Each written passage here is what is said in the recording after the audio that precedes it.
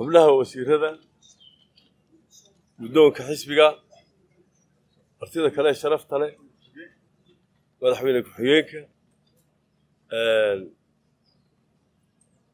aada iyo aad baan ii salaamaya. Warkaygu ma badno. Waxa weeyaan madaxweyne ku-xigeenka oon constituents ka soo wada jeedno.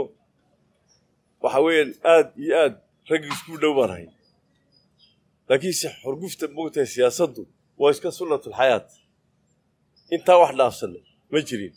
Waa labada iyadoo bahay marka ta kowaad waxa weeyaan madaxweyne ku-xigeenka oo gartay inuu iiga tanaasulo arrintii aan aan isku qabannay aad iyo aad baan muugta ugu mahadnaqayaa.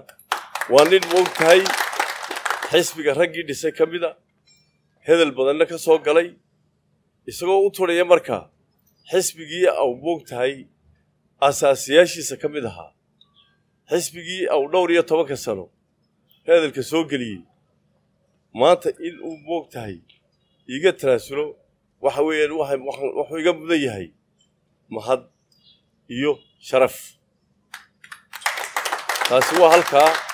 Waa tu ku socota madaxweyne ku-xigeenka waxaa kaloo u mahadnaqayaa intii ka shaqaysay isku soo dhowaynta ee hawshaa ka siixan weyday.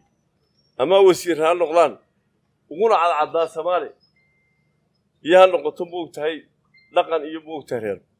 Aad iyo aad baan iyagana ugu mahadnaqaya.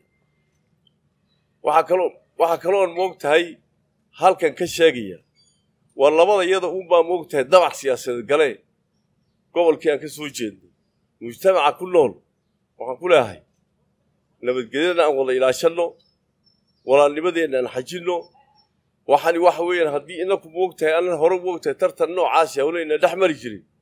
Dee beelaha dhexe aad buu dhex mari jiray. Dabadeedna markii way ka heshiin jireen. Sideedii dhaqankii oo kale aan qaadanno. Aad iyo aadna waxaan ugu mahadnaqayaa beelaha dhexe.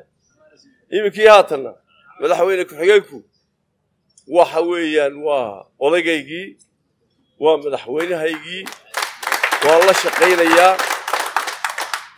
Mustabeed buu ii yahay wax dhibaatii ma jirto shicibka awdalla waxaan leehay waa annakaa iskarab joogna waa annagaa gacma haysaysana iyayna xorguftaasi idinla fogaanin. Waa aanan ka howlgallo sidii dadkeenna iyo xisbigaba aan moogtahay hawl innagoo gacma haysanna aan uga howlgeli lahay aad iyo aad baad u mahadsantihiin wasalaamu calaykum waraxmatullahi wabarakatu